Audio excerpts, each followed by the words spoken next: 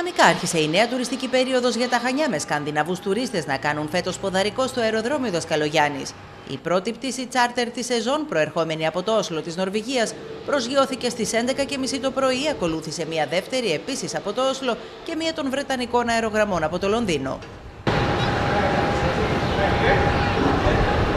Λίγο μετά τη μία το μεσημέρι προσγειώθηκε στο αεροδρόμιο Δασκαλογιάννης των Χανίων το αεροσκάφος των σκανδιναβικών αερογραμμών, μεταφέροντας τους πρώτους σκανδιναβούς τουρίστες. Η άφηξη των Νορβηγών σηματοδοτεί το αυξημένο τουριστικό ρεύμα που αναμένεται να αναπτυχθεί από χώρες της Σκανδιναβίας στη φετινή περίοδο.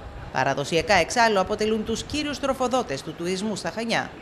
Uh, no, I've been also for many, many years but it, uh, ago, but it's the first time I come with my family. We're going to travel around to take a look. We just rent a car and drive around and look uh, on the other side of the island as well. Um, so uh, we have no big plans, but we just take it as it's calm.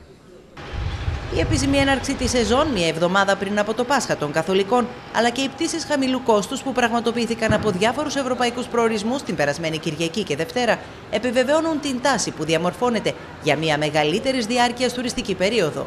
Ο ήλιος, το φυσικό περιβάλλον και οι άνθρωποι των Χανίων και της Κρήτης συνολικά είναι τα στοιχεία που την καθιστούν ως ιδανικό προορισμό για εκατοντάδες χιλιάδες ξένους επισκέπτες. Oh, I'd say the sun. and obviously, there is a direct flight, so it's very easy to come here for a week.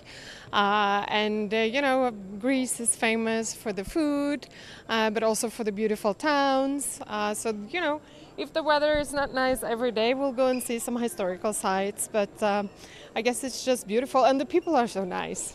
Uh, very warm, nice, cozy, nice food. We are very looking forward. We hope it's warm here.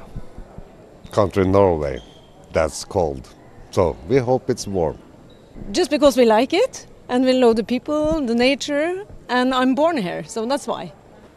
Τις επόμενες ημέρες αναμένονται μεγάλες πληρότητες και στις πτήσεις εσωτερικού λόγω των διακοπών του Πάσχα. Τα στοιχεία πάντως μιλούν για εκτόξευση των αφήξεων εξωτερικού στο αεροδρόμιο Δασκαλογιάννης σε επίπεδα πιο πάνω ακόμη και από αυτά του 2019.